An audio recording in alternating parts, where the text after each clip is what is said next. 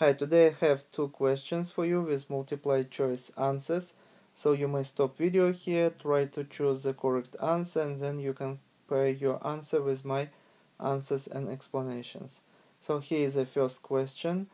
Uh, which of the following occurs at the ribosomes? And answer A, most of the cell's DNA molecules are stored there is not correct because most of the DNA molecules stored in the nucleus and some of them also present in the mitochondria. Mitochondria of course much smaller than nucleus so I drew them out of the proportions but uh, you should understand this. So we can cross out answer A. It is not correct. And we left with uh, B and C. Answer C. Uh, message RNA are produced there and it's not correct because uh, ribosomes use message RNA in order to um, translate this message RNA into the protein sequence. So we can cross out answer C and correct answer would be B. Proteins are produced there. And now we can go to the second question. Each tRNA anticodon has three bases. The three base combinations are codes for attracting specific kinds of and answer A endoplasmic reticular. Uh, imagine that this is once again a nucleus and it's surrounded by endoplasmic reticulum uh, that can be of the two kinds uh, smooth and rough but uh, no matter smooth or rough it's there is uh, ribosomes here that serves for production of the um, proteins. So this is uh, incorrect uh, answer. So we can cross it out. And we left with B and C and uh, ribosomes the uh, the question we can rephrase does tRNA attract ribosomes? And this is exactly uh, opposite what happens so imagine that this is ribosome and this is um, large uh, a ribosome consists of two parts. This is going to be large and small part. And here would be message RNA and um, large part I want to redraw it like this. Large part consists of the two sides. Inside uh, A and P sides. And uh, which attracts uh, tRNA. So here is a tRNA.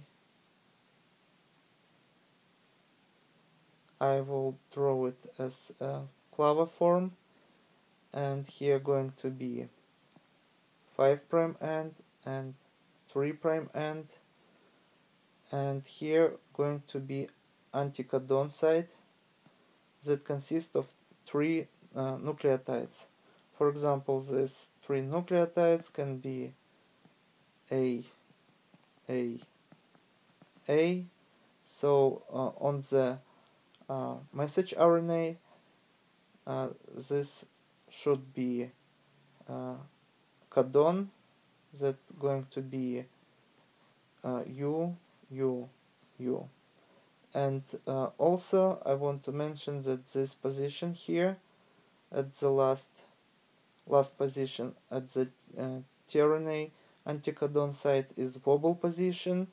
So any uh, in most cases uh, any nucleotide can present here and you may also ask uh, why do I know that this is uh, last codon of the uh, last nucleotide of the anticodon and not the first one?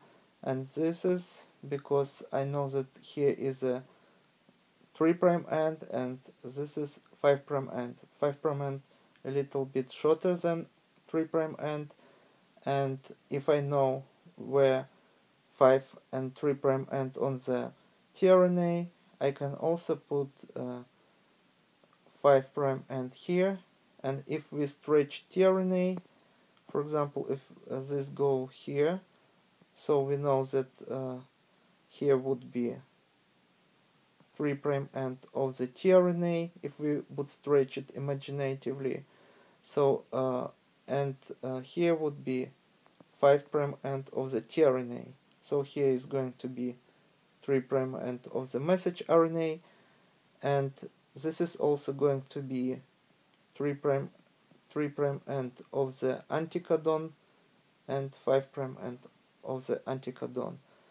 So this goes in anti-parallel to message RNA so this site should be uh, this particular um, nucleotide should be the last one in the anticodon site.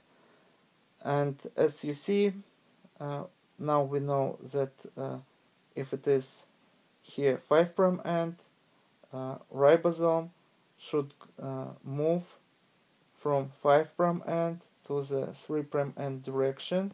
So this is direction uh, which uh, ribosome moves and uh, here would be the first site for the tRNA where it moves and it moves uh, to this second site and then uh, would be released. So here on my picture we see tRNA that already released.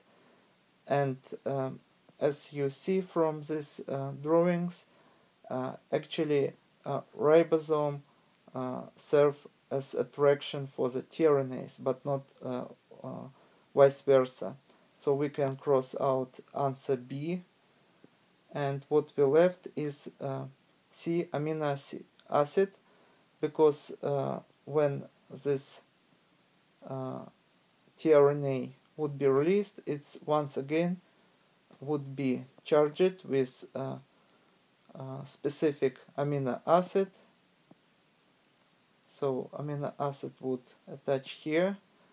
And uh, I also want just to mention that not only anticodon uh, sites specify this uh, amino acid, but also uh, let me draw here is a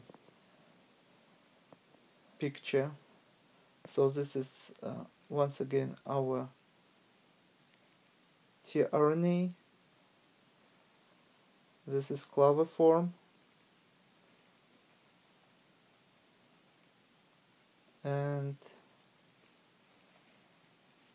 once again here is 5 prime end 3 prime end and this is going to be the loop here. And uh, this one and here is going to be anticodon loop.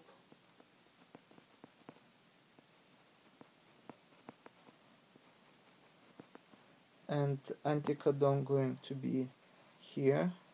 As in our example this could be a a a. And um, here going to be variable arm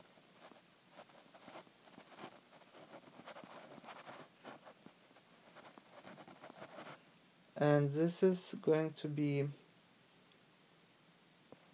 T C C. Arm and uh, loop. So uh, I just want to mention that uh, here for example on the D loop there can be present some uh, sites let me choose the other color. Uh, here can be present uh, such sites where nucleotides uh, variable also such variable nucleotides present at the anticodon loop and the whole variable uh, arm is uh, sometimes can present and sometimes can be absent and uh, uh all the uh, almost of the, of the uh, nucleotides that present here is also variable as long as some variable nucleotides can be present at the T-psi-C uh, uh, loop. Uh, so the whole uh, structure of the tRNA, not only uh, anticodon uh, site designate which which amino acid would attach here, but also other uh, structures of the tRNA also important. So uh, our answer would be C. But I just want you to know that uh, not only anticodon site uh, specifies uh, which amino acid would attach to the 3 prime end. So I hope you were able to learn something new today. Uh, thank you for your attention. Please subscribe to my uh, channel. New videos almost every day. Please ask uh, questions. I will try to answer all those questions. Goodbye.